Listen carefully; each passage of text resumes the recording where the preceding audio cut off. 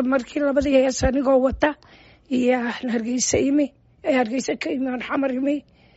Markaas waxaan dhigay ruwaadii shabeelnaagooda caanka ahayd oo maaragtay aan gabdho cusub lagu aamini karin laakiin allah u naxariistay abwaankii xasan sheekh muumin lagu yidhi anigii marin musal baan ahayn ruwaadda habla caankaa u dhiib.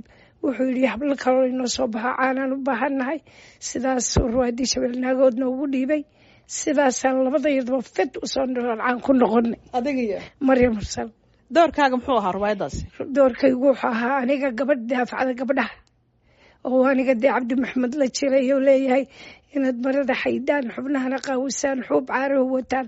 Xaq miyaa xeer miyaa maydin xalaal ma maydin xalaal ma inaan leeyahay marwadaad xodxodataan inaad xagasha goysaan oo dhashiina xoortaan.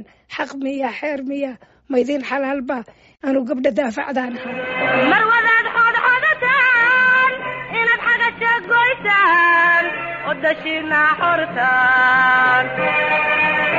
Ahaa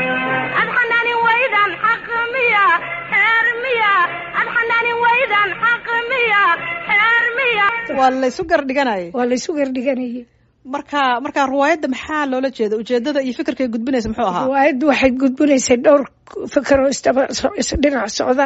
Dhan waxay ka matelaysay dhaqan guurka in la ilaaliyo. Dhan waxay ka gudbinaysay in tacliinta la ayido.